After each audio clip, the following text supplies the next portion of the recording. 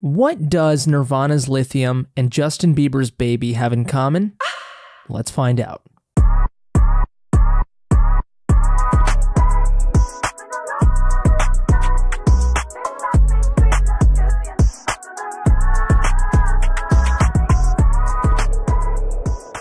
Hello, hello, it's Super Jesus Jackson, your favorite man child, back at it again with yet another video. I know, what a surprise. So I know what a lot of you might be thinking, at least the music snobs out there. What in the world is this guy doing? Who does he think he is comparing Nirvana to Justin Bieber?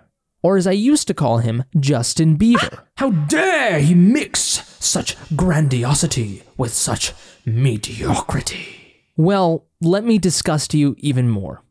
I think both songs are masterful tracks, okay?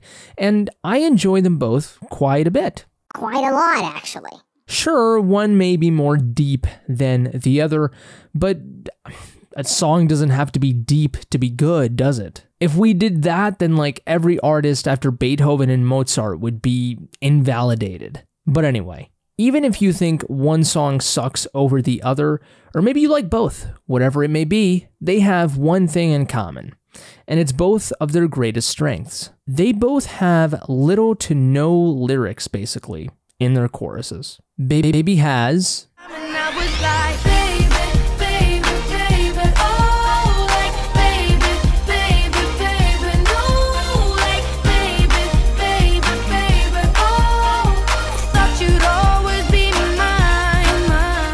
And lithium is just.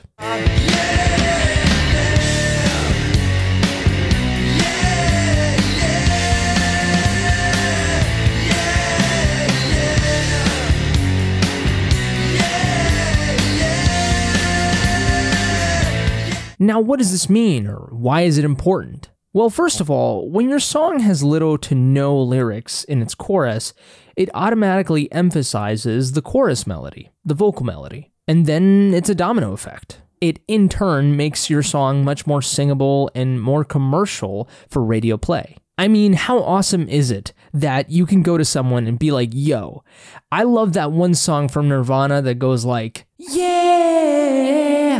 yeah, yeah. And then the other person would know exactly what you're talking about because of melody. I love when artists decide to go with pure melody for their chorus because that's telling me that when they were writing this song, they were in a special area with their emotions. They were in a different state than in other songs. Not a necessarily better state, just a different one. They were like, screw the lyrics. I'm just gonna do one word and go like, Baby, baby, baby! Because nothing else can explain how I feel right now better than that. I think it's beautiful. And in the case of Lithium and Baby, both of their choruses make perfect sense to the narrative of their tracks. Lithium is very much focused not on plot or events, it's focused on how one feels. Same thing with Baby. It's about the crush that you have for someone when you're like 12. we don't need words to describe those feelings at the end of the day. So that's what they have in common. And next up, I'll show you a compilation of songs that also use little to no lyrics. And they all have incredible choruses because, of course, they do. This one coming up is another Nirvana song, and I, I think it might be my favorite Nirvana song ever. The chorus is just incredibly powerful.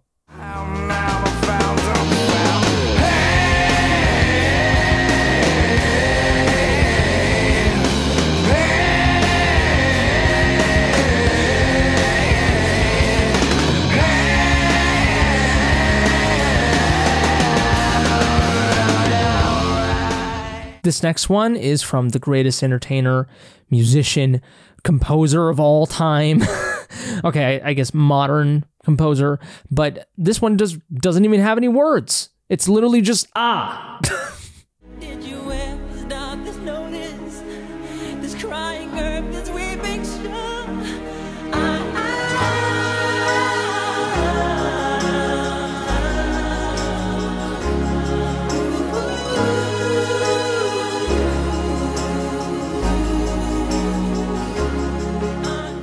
This one is super iconic, super memorable and catchy.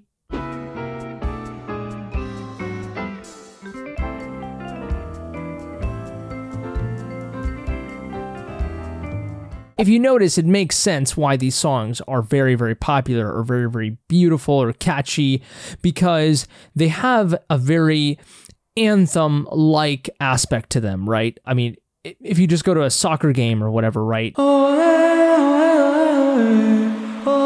You know, when you have something that you want to be super iconic or, or super catchy or long lasting, you don't really want to put words to it, right? You just want it you just want it to be a very good melody. And this last example is one where the chorus of the track has words with a great melody. And it's definitely the most popular part of the song. But the second best known section of the track is this close to be as great as the chorus melody. But this one has no lyrics, it's just melody. And it's one of the reasons why I love this artist so much, because they can capture so much emotion and power with just the use of melody.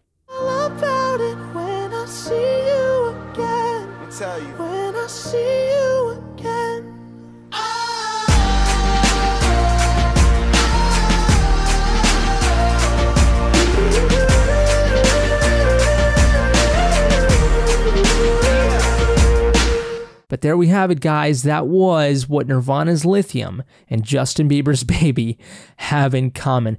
That sounds a little gross. Anyway, I did have other examples, of course, to drive the point forward that sometimes melody is enough. And I want to make very clear I don't know if I've said it earlier in the video. I mean, I think I did in a different way, but I want to make very clear that this type of songwriting isn't better than other forms of songwriting. It's just a different form of songwriting that I appreciate a lot. A good song is a good song at the end of the day. But I hope you found this engaging and informative. And uh, I don't know, maybe you go and uh, look up some of these songs and some or some of these artists and discover some new music for yourself. I mean, to be fair, I didn't really put a lot of obscure artists in there, but maybe some artists that if you're on one side of the aisle would never really listen to, you know? But you stay safe, take care, and until next time, I love you. And I was like, baby, baby, baby, oh, baby, baby, baby, oh, baby, baby, baby, oh, that you'll always be mine, mine. You like my shirt?